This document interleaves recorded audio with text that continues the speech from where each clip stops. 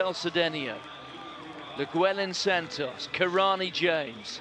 They the last three champions. Before that, LaShawn Merritt, Darold Williamson. All became outstanding seniors. All went on to win global medals. The Pole, in fact, won this title 28 years ago. Thomas Jędrusik, 46-19, he won in uh, 1988 in Sudbury in Canada. With eight men here. And there isn't a pole in this final this time. Jeffrey Kiprotich, who just gets better with every race. Won his heat, he was the fastest qualifier from the heats. He won his semi-final in a lifetime best. They're, though, one of the favourites. Karabo Sibanda, semi-final winner in a lifetime best as well, 45.15. Abdallah Haroun, he too a semi-final winner of Qatar, the third fastest junior of all time.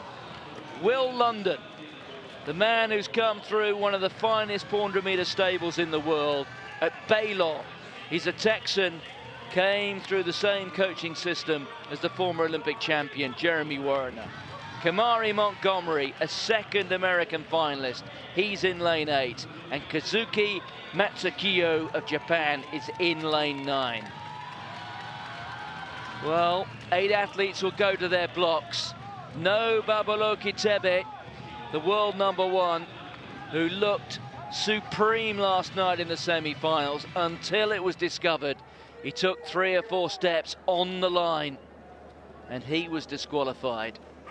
But in the absence of that Botswanan, can Karabo Sibanda atone for the Southern African nation?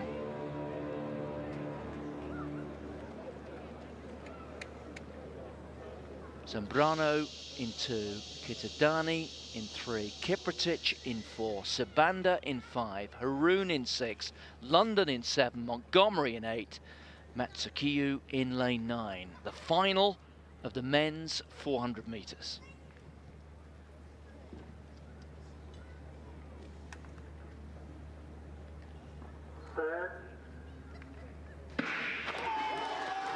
Well, the Americans have produced so many global 400 metres champions. Two men there in red, out in lanes seven and eight.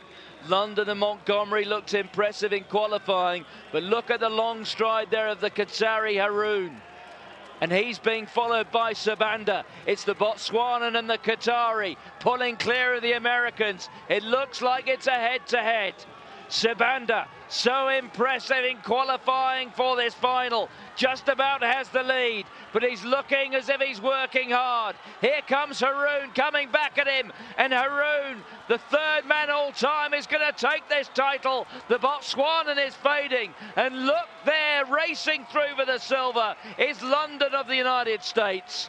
But there's only one man in this final, Abdullahi Haroun of Qatar. In the absence of Baboloki Thebe, he came here as the favourite and he has confirmed it.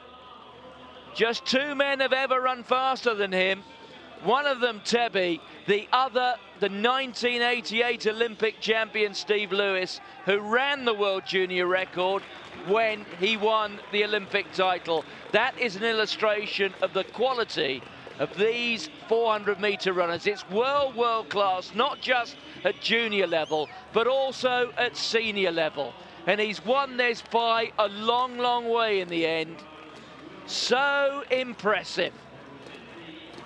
The time coming through is confirmed at 44.81.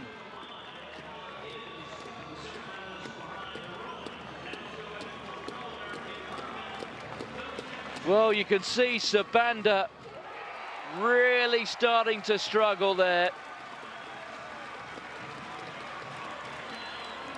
And London coming through for second place, 45.27.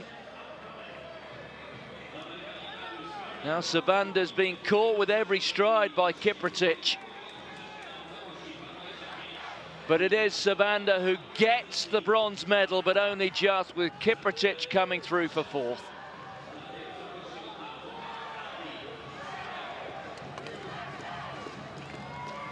Well, what a run. Abdallah Haroun of Qatar.